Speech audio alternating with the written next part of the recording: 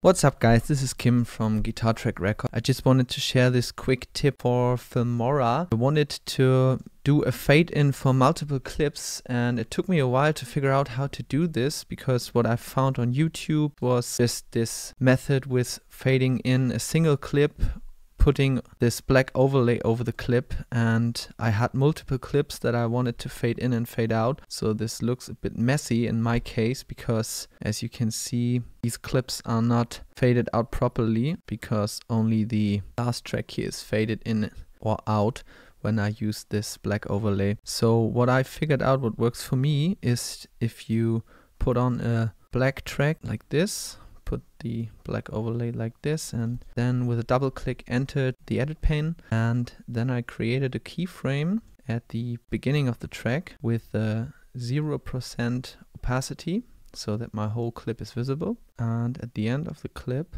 so let's say I wanted to fade it like this. I don't want to see this GoPro branding. I can again create a keyframe and put the opacity up to 100% and this gives me a nice little transition as you can see it's properly faded out can make this a bit longer so that the effect is more visible as you can see there's a nice little fade for all the clips and it's not that I need to copy this transition four times. I couldn't found anything like that on the internet so I've just made a small video. Maybe it's useful for some people. Thanks for watching and have a great day.